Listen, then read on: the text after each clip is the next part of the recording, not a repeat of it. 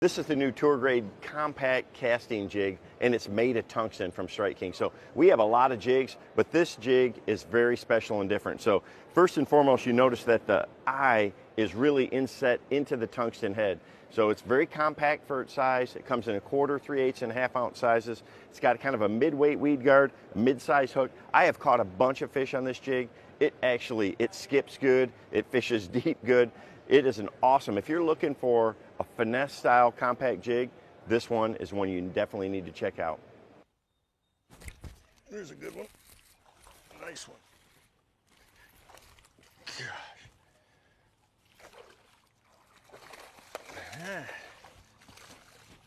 Yeah. Look at that. He's got that jig just pegged right there in the roof of his mouth. Good solid fish.